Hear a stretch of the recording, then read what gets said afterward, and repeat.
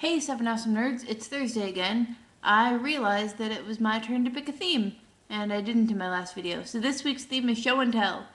Uh, show everyone what you've been working on, or what you've been making, or what songs you've been writing, or stories you've been writing, or homework you've been doing, or animations you've been making, or pictures you've been taking, or dances you've been learning, or anything.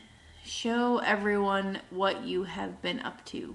And you can do it in like old school show and tell style fashion, or you can just show stuff and tell about it.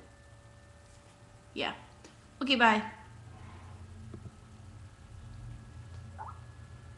I don't know how to stop this.